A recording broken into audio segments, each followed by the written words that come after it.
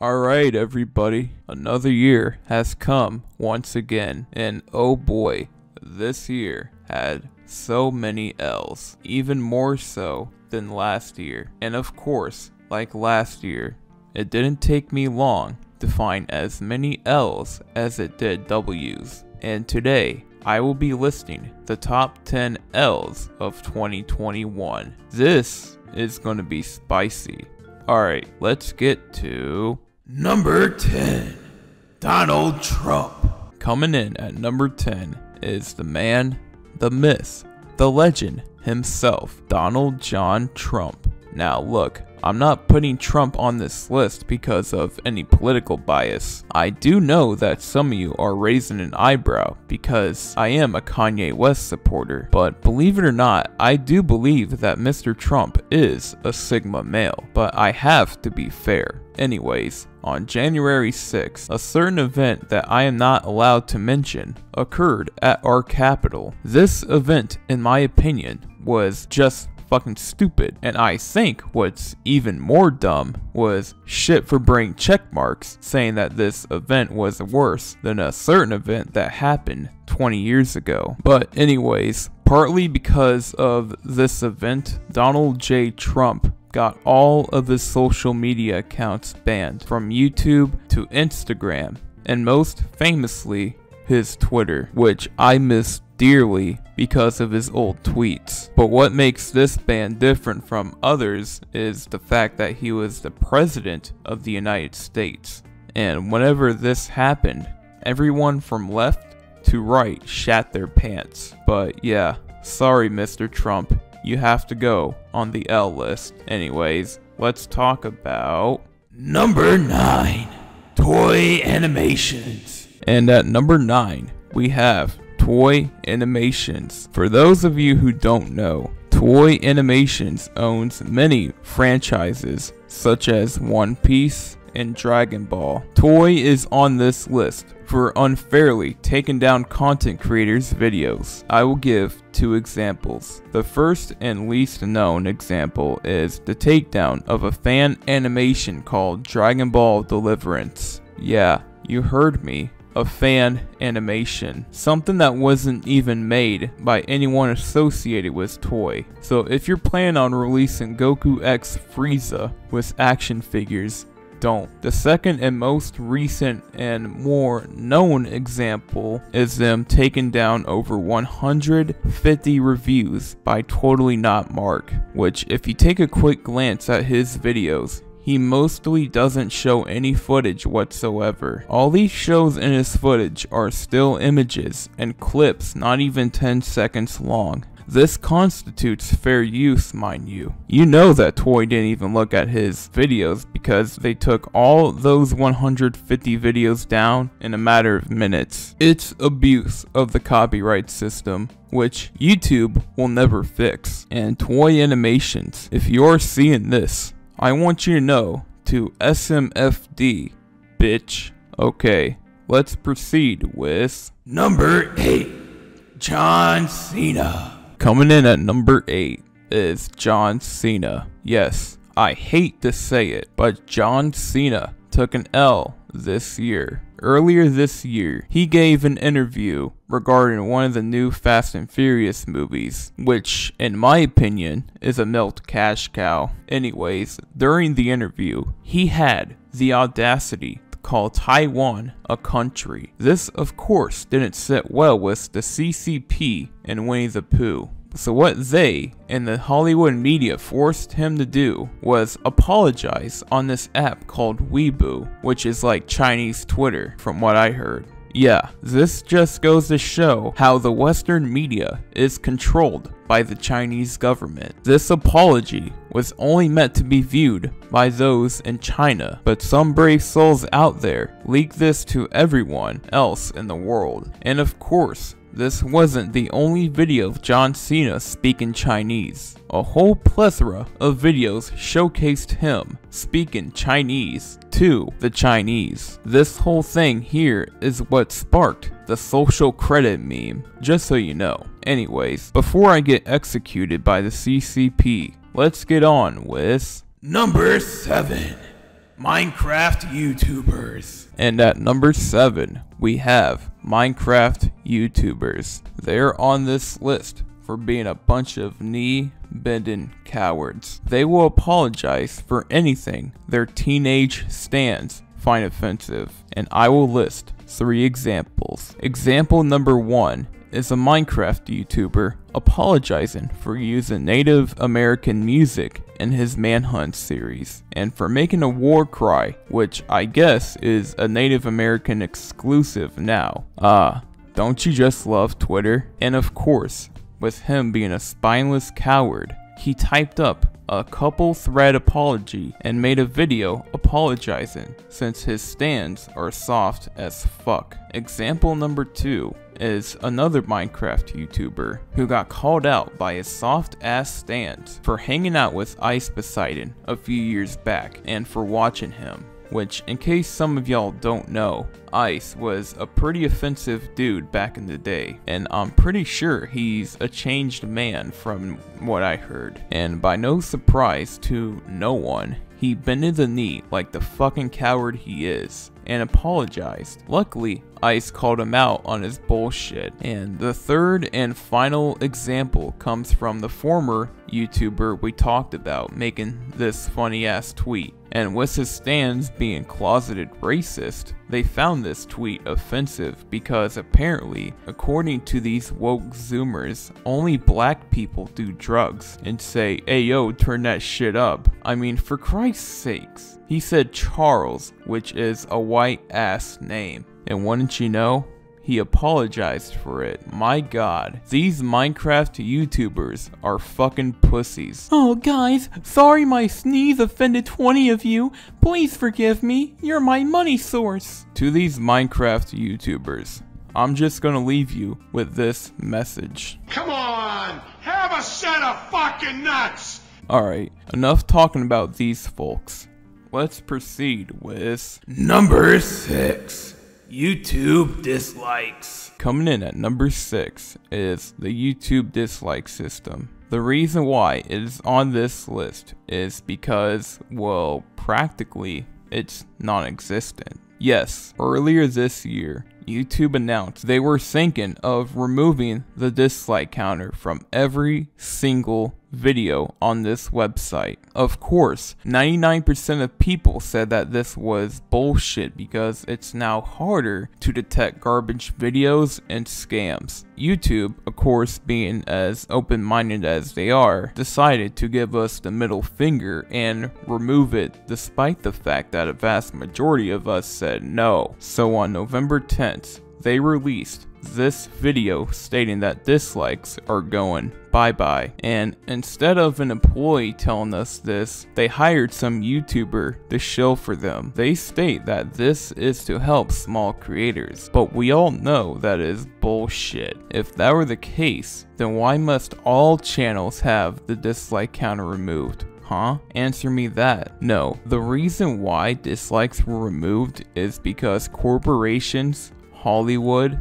politicians, and Golden Geese were complaining about it, which are YouTube's moneymakers. You just gotta love how they remove dislikes because it hurts people's feelings, but they won't fix the abusive content ID system, which actually affects content creators. Luckily though, there is an extension on Chromium browsers that bring back the dislikes. And though the dislikes aren't updated in real time, and even though the public dislike API will be gone by the time this video releases, it is better than nothing at all.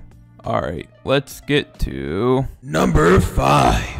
Facebook. And at number 5, we have Facebook. Facebook is on this list for two reasons. Reason 1, they had Capcom censor the living hell out of Resident Evil 4 VR I mean, for God's sakes, even all the cute flirtatious lines between Leon and Hunnigan are gone. I mean, who made this decision? Some lonely motherfucker who's jealous that they can't find someone to be affectionate towards them? I mean, good God. If you think that this censorship is bad, just wait until San Andreas VR comes out.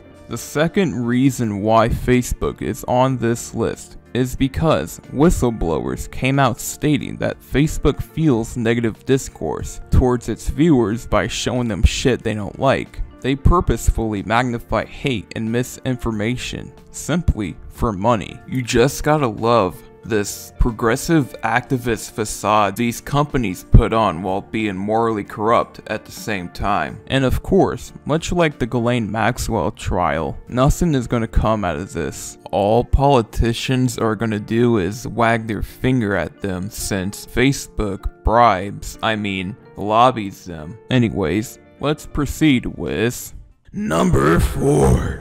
Rockstar Take Two.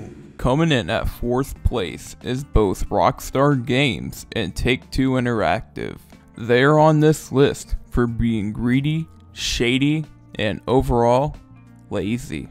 First of all, last year, Rockstar Games announced that they are releasing GTA 5 for the fifth time for PS5 and Xbox Series X. This is because GTA 5 is a cash cow that refuses to die. And thankfully, the community isn't happy with this. And this year, they released another trailer for the quote unquote expanded and enhanced version, and it looks exactly the same as the last gen version. And I am so glad that this trailer got dislike bombed even though 80% of those disliking are probably gonna buy it. But this isn't the main reason why they aren't on this list. No, last month, Rockstar Games and Take-Two released Grand Theft Auto, the Trilogy Definitive Edition. And I must say that this isn't really definitive because Oh my god, there are so many bugs in these games. I mean, come on, Rockstar. It's a damn remaster. How could you screw up so bad? Well, that's the problem. Rockstar didn't make it. They handed the project off to a small group called War Drum Studios, which are the same people behind the awful mobile ports. And luckily for me, I did not buy this because I had a feeling deep inside me that this was going to be hot trash. And I have four red flags that show this release to be a scam. Flag number one, War Drum Studios changing their name. Flag number two, Take Two taking down graphic and map mods. Flag number 3, the removal of the original games. And flag number 4, refusing to show gameplay. And I can't believe I predicted this. It's so funny how mob boss, I mean CEO of Take-Two, Strauss Zelnick, made fun of Cyberpunk for being a broken mess. Man, how poorly that aged. Surprisingly though, Rockstar released an apology probably because Take Two stock prices were going down. And they stated that anyone who owns the definitive edition will get the originals for free. And soon, the original trilogy of games will be back on stores. But get this, only as a bundle and only on the Rockstar Games launcher. So if you own GTA 3 and Vice City physically or on another launcher, you're probably going to have to pay for all three games again just for San Andreas on a broken launcher. Fuck you, Rockstar. I see cleverly through your deception. You're only doing this for max profit. One more thing before I proceed. Take Two has decided to put a patent on words. I'm not kidding. These are simple words like rockstar and bully, which are everyday common words. And they also claim that the game It Takes Two is using their likeness. Get out of here. Who the hell would use your likeness, you fucking crooks? Wait a minute, by this impeccable logic, since the song It Takes Two was released in 1988 and your company was founded in 1993, shouldn't Rob Base be able to sue you guys? Before I get to the top 3, I just gotta say two things to everyone watching. Always archive your mods, because you'll never know when they'll be taken offline. And always remember that Take-Two Interactive is a satanic mafia organization. Alright, finally, let's get to... Number 3. Chris Chan. Taking the bronze medal is, good God, fucking Chris Chan. In case you don't know who Chris Chan is, Chris Chan is someone with autism who, since the early 2000s, has been made fun of and gained a following all over the internet. Chris Chan is most known for the creation of Sonichu. I've known about Chris Chan since 2016, and one of the things I remember was when Chris Chan was looking for a boyfriend free girlfriend and formerly he laid down three rules. The girl had to be 18 to 24, not a drinker or a smoker, and I can't really mention the third rule. Look it up for yourself. But anyways, Chris Chan is on this list for I don't even want to say it. Chris Chan fucked her own mother who has dementia. Yeah, to give the short story, what happened was that Chris Chan admitted these atrocities to a girl over a Discord call, I believe. And let me just say, the girl who exposed Chris Chan for this is not right in the head either. If you want to know how much of a fucking psychopath she is, then watch Turkey Tom's video on it. Anyways, after the news broke out, Chris Chan got arrested by the police for this. This then broke to the mainstream media. Never I thought would I see Tucker Carlson cover fucking Chris Chan. But yeah, Chris Chan, good god. Alright, let's talk about Number 2.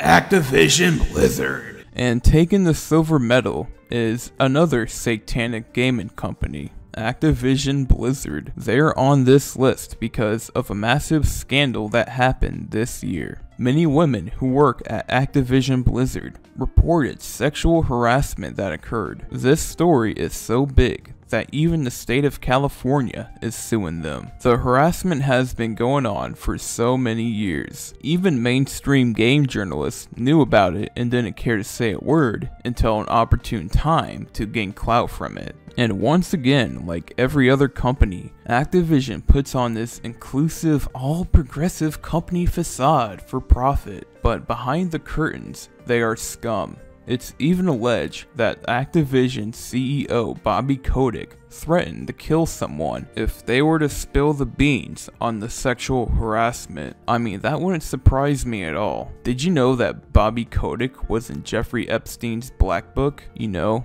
I have a theory that Satan himself runs a vast majority of the gaming industry as a shadow ruler, and that the CEOs are his minions. But back on topic, employees were rightfully protesting and going on strike until conditions were met. And much like the mafia, Activision attempted to bust this union by threatening their jobs. Yeah, y'all think that the mafia is no longer a thing? But they just became corporatized. One more thing I find funny is how PlayStation, Xbox, and Nintendo say that they condemn Activision. If that's the case, then why don't you delist their games and stop making them and you money, you greedy virtue signaling motherfuckers? I'm done talking about this. Can I get a drum roll, please, for number one?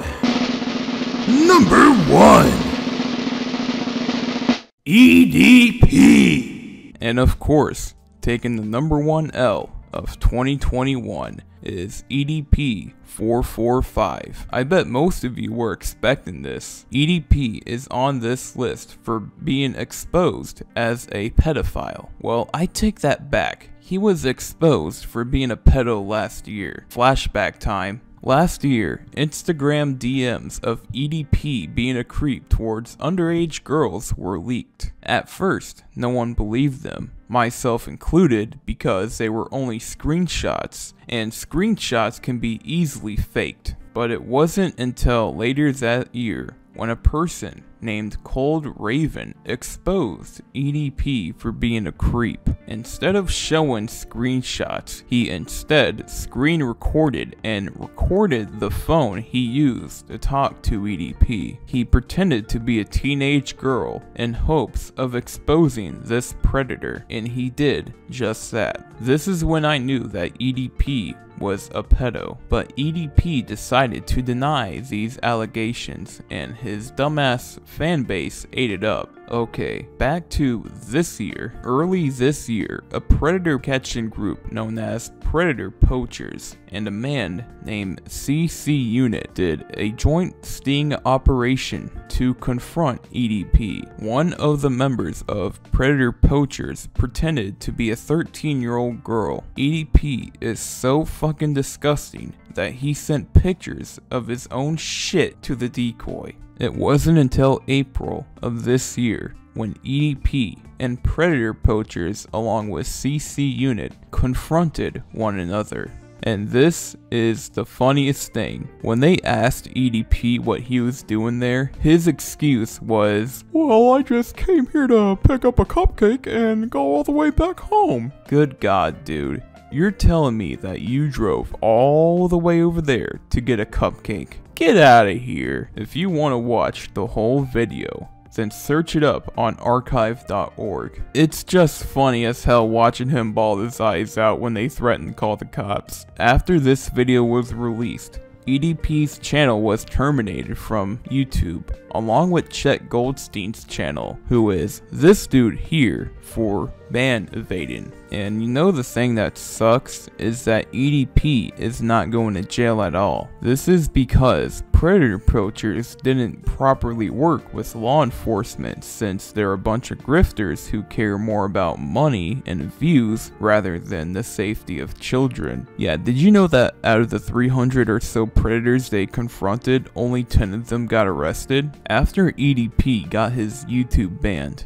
he started posting to his Facebook and Instagram and didn't at all address the allegations. In fact, I don't think he feels guilty at all. Actually, I know he doesn't care because here he is eating cupcakes. Those of course got banned as well. You know, it's a real shame. I was a fan of this guy and even defended him when his channel got banned back in 2018. It's a stab in the heart. He even tried to start up his own website and upload it to some platform called 3Speak. His website never saw the light of day, and 3Speak banned his account, though he'll never face jail time. From what I heard, EDP got evicted and is now homeless, and he was also seen at McDonald's. I just love this comment here, and that is why ED UAP takes the number one L of 2021. So this was the top 10 L's of 2021.